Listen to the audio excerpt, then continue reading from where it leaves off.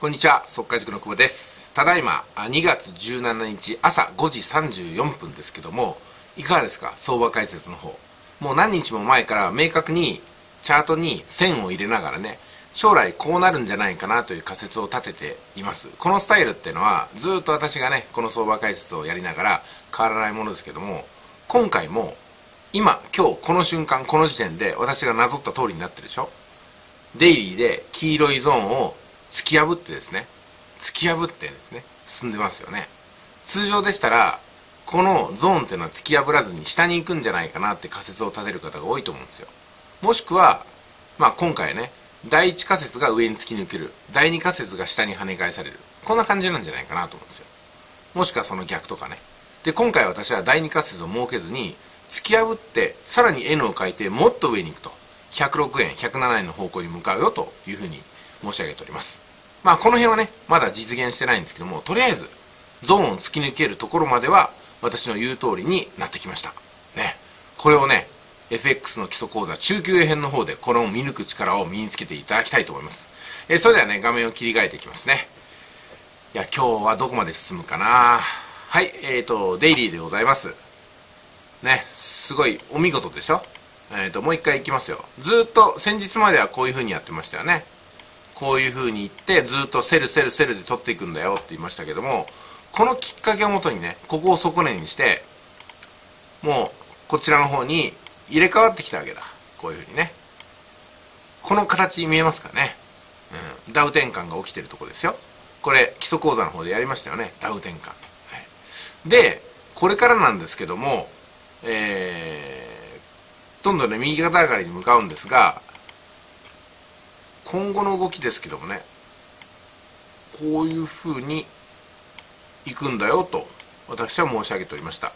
まあここの長さはねちょっと変わるかもしれませんけども、うん、でえっ、ー、とゾーンこれをね突き破ったのは突き破ったでしょ私の仮説通り。通常テクニカル分析ができる方はこういうふうに進むっていうふうに見るんですよ。でトレンドの方向に戻るんだよっていうふうに言うと思うんですよね。ただねここで何が変わったかっていうことなんですよ、えー、ダウ転換の時に。実は大統領のバイデンさんが新しくホワイトハウスに入って、えー、最初のねスピーチを行いました。その中で市場が反応してこのトレンドの方向っていうのがねぐっと一気に転換したというふうに私は判断してるんですよ。トランプさんの財政政策をそのまま推し進めるところもありますけども基本的にはさらなる金融緩和で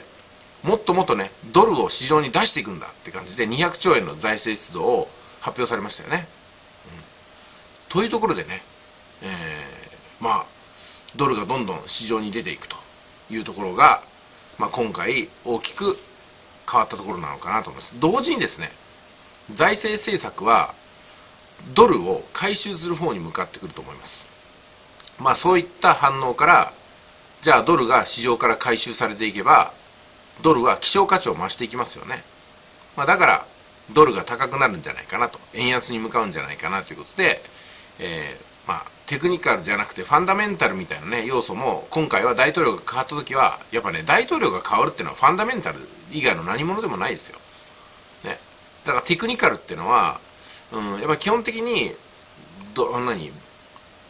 米ドルドルだドル円でやってる限りは国の代表者が変わってないっていう前提で見ていかないといけない部分もありますよ、うん、今回それを私は顕著に感じですねバイデン大統領に変わったらきっと今までの円高から多分ねドル高の方に向かうんじゃないかなっていうふうに山を張ったところがあります。でそれがうまくいったわけですよね。だからテクニカルも早めにスムーズになりました。この山を張ってなかったらもうちょっとテクニカルを整えるのがね遅れていたと思います、はい、では4時間の方行きましょうか。ぐだぐだ喋りましてすいません。はい。4時間なんですけどすでに消えてしまいましたけどもこういう風な流れで来ていてそこから N を変えて登ってきてでここでは N ではないんですけども抜けてここでヘッドショルダーですね。その後ヘッドショルダーを抜けて大きく上の方に行くよって言ったのがゾーンを超えるって言ったところなんですよ。まさにそうなりましたよね、まあ、ですんでこういうふうな形で右肩上がりのトレンドを形成してるっていうのを4時間ではずっと申し上げてきたわけですよね。よろしいですかね、えー、もう基礎編をやってたら理解できてますよねこれはね。でこれ1時間足でございます。1時間足はもう移動平均線だけでいきましょうか。ズバーッとねもう右肩上がりですよね完全に、もうこれ以外言うことないです1時間は。ずっとね106円の方向107円の方向って申し上げてきましたけども今105円の903ですから106円107円の方向に向かってるでしょ。でこういうふうに金額を明確に言いながら相場解説ができるのも、まあ、私のね相場解説の特徴ですよ。あのもしかしたら104円の方向になんて私言わなかったですからね。だからはっきりしてるわけなんですよ今回は。だから全員取れといてもらいたいかなと思います今回のはね、えー、もし取れないいや取れてないよって方とかエントリーできなかったよって方がいるとしたらそれはね FX の基礎講座をやり直してください。そして中級編では今度はね人に伝えれるレベルで自信を持ってこうなんだということがね言えるように皆さんを鍛え上げていきたいと思います。はいということでございましてですね。FX の基礎講座中級編は第1回を終えたところなんですけども早速ですね、えー、ご受講された皆さんから分かりやすかったということでお話いただきました。で分かりやすかったのはいいんですけども今度ね使いやすかった自分でできるかどうかっていう問題がありますんでそこを解決しない限りはあちょっと、ね、分かりやすかったけどいい勉強になっていい話聞いた終わりになっちゃうんですよ。だから確かになと思ったらぜひこれからねご自身で線を引いてみて本当にそうなるかどうかを何回も何回も検証していきましょう、うん、で過去のチャートからあそのね何て言いますかね今回みたいな大きなトレンドの変換っていうのをうんまあ、結びつけてみるっていうのもね一つのトレーニングになりますんでやってみてください、まあ、具体的にどうやればいいのっていうのは分かんないと思いますけどね。分かんない場合は私がおりますんでお問い合わせください。ということで FX の基礎講座中級編ももうすでに始まっておりますけどもあの、まあ、今週末ぐらいまではねあちょっと遅れたんだけど入りたいっていう人がいたらそれは OK でございます、うん、あとはねだいぶ進んじゃうともう何、うん、て言いますかね。だいぶこう温度差ができちゃうっていうかね。やっぱね今起きてることは今聞いた方がいいです。それがすごく大事だと思いますよ、うん、ということなんでポータルサイトはあの週ごとに更新していきますんでね、えー、ですんで、えー、あまり先読みしないようにしてくださいね。今のところをしっかりとこなしていって、